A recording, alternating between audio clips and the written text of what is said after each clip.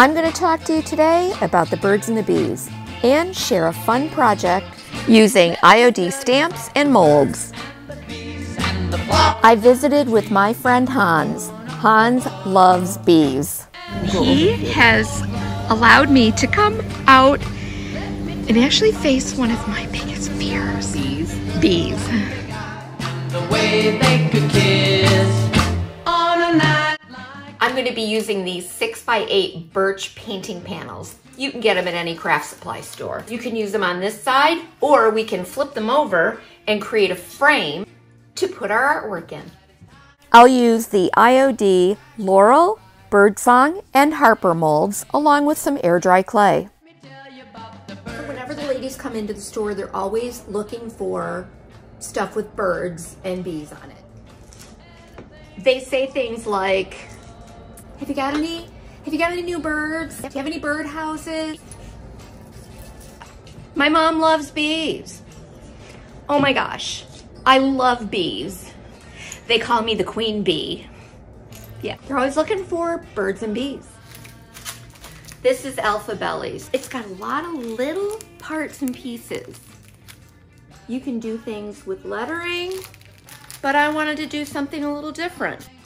I'll be using the Alphabelly stamp to impress into the IOD air dry clay. So first I want to create a base with the clay.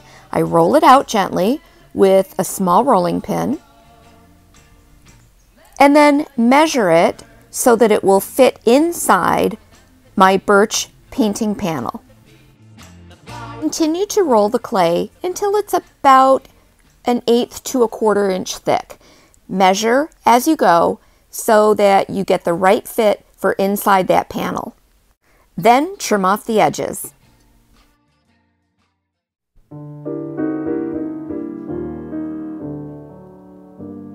What have I got that the others ain't?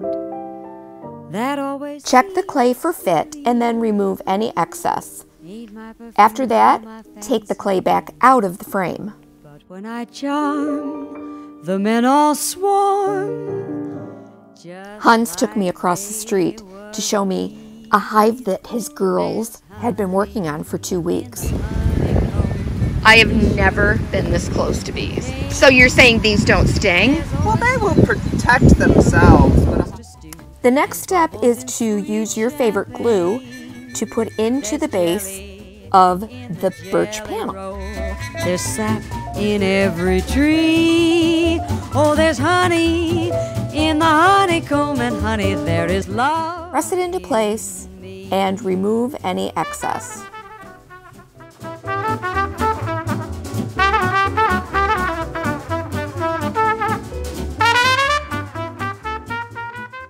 It has all these little parts and pieces. So here's a first tip. After you use your stamps, I like to throw them into a little perforated bin. Wash them in here so that these tiny parts don't go down the drain. Choose one of the rectangle shaped pieces from the Alphabelly stamp and then press it into the soft clay. When you lift it, you're left with a really cool impression. Hans actually stuck his finger right into the hive to let me taste a little bit of that honey guys back to bed. Hey Hans, would they be attracted to my t-shirt that I made? The Laurel mold has two really cute bees. I'm going to use one of them to accent my artwork. And we'll do a little bird from the birdsong mold. Press the clay into the mold and then I use the micro rim edge to scrape off any excess and create a flat back. There's honey honey. For my second panel, I'm choosing these little floral corners and creating a rectangle shape into the clay.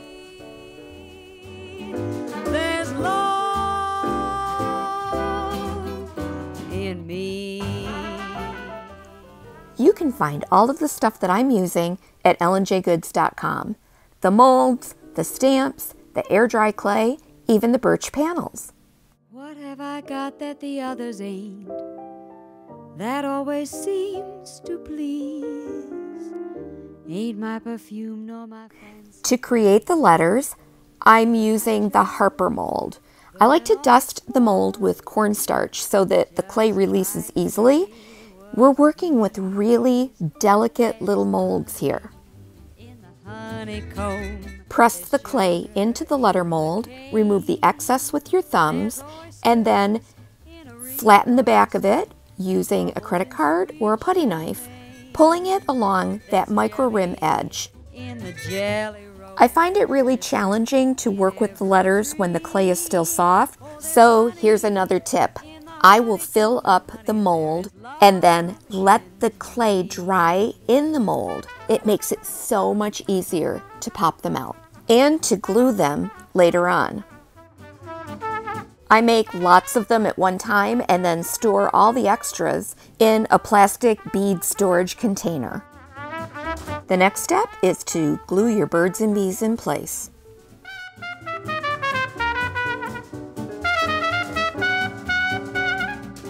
I clean up any excess glue with a damp Q-tip. But if you notice, they're all flying towards you. They're like, they're flying towards you.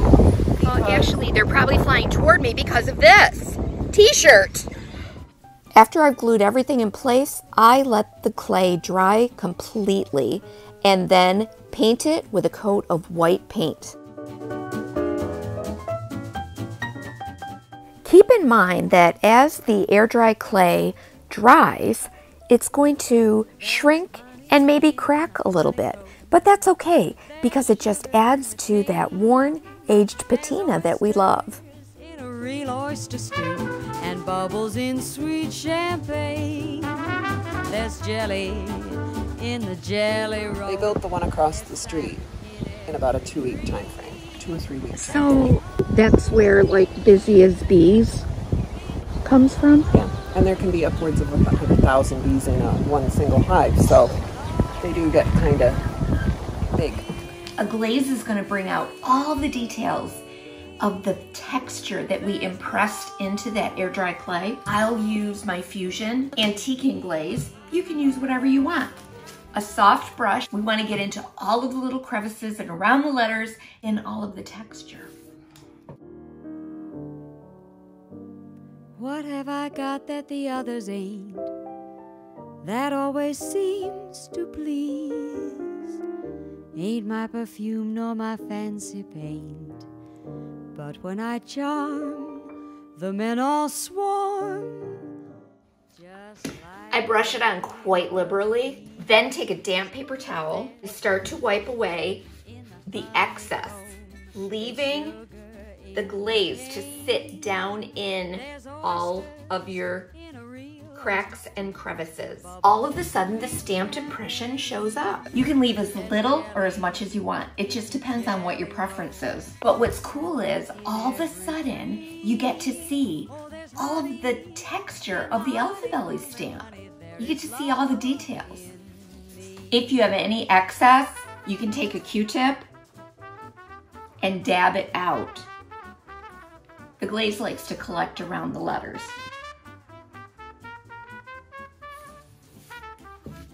Wait a minute. We just saw we just saw the female swallow and we saw the male swallow. And yesterday I sat out here and drank a scotch with my roses and watched the birds do what birds do. Make more birds. oh my god. So Hans told me that you went birding yesterday. We did. Looking for the mysterious rare warbler of some kind. Oh, the king rail? Dan's got a bumblebee. He's got a bumblebee on sting. his hand. Oh my gosh. I'm gonna tell you, you know what? This is probably gonna be so traumatic not only for me, but for Dan. Although my mother would say she's the queen bee of bird watchers. Well. Well, she pretty much thinks she's the queen bee of everything. So what's the deal? Yeah, this is my mom's bird feeder setup. She is the queen bee of bird watching. In every tree, there's honey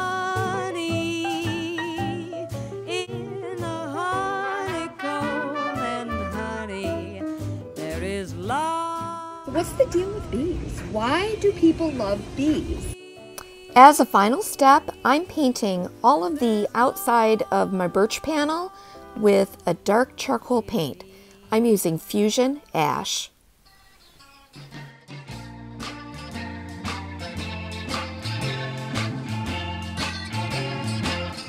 Let me tell you about the birds Because you like to eat, right? But I don't eat bees, No. and I'm not that crazy about honey. It's not one of my favorites. But apples and oranges and almonds and almond milk, Okay. all are made possible by bees. Sponsored by bees. This video has been brought to you by The honeybee. It's so very plain to see. So, have you heard about um, th- this invasion of like killer bees? Yeah. It's kind of scary. Hornets, I was Lynne. hoping that you would put my These mind are- at ease. These are hornets. And called love. Hans just told me he got stung this morning On my toe. on your toe. I got stung on my elbow last week. And honestly, I was literally sitting there minding my own business, my own beeswax. And that wasp just came right up and It's, it, you're right, it wasn't a bee, it was a wasp. All of the products that I used are available at our brick and mortar shop in Medina, New York, or at ellenjgoods.com. Tell you about the birds. But if you're local, um, Hans and his girls um, make honey, and I can tell you I'm not a fan of honey that much, but that was actually really good. It was good. It was If you love getting inspired by the projects that we do at Ellen J Goods, we'd love it if you would subscribe to our channel, like and comment below.